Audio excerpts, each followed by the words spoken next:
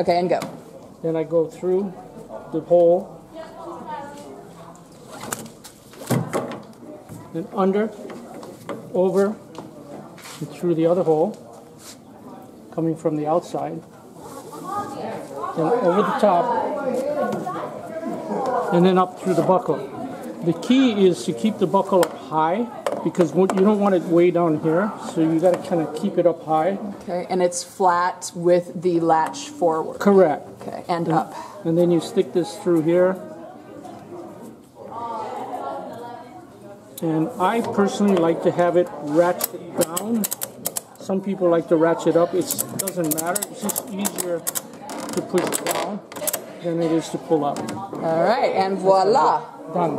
So you got a crisscross and a straight on the outside. Yeah, I'll do another one. Okay.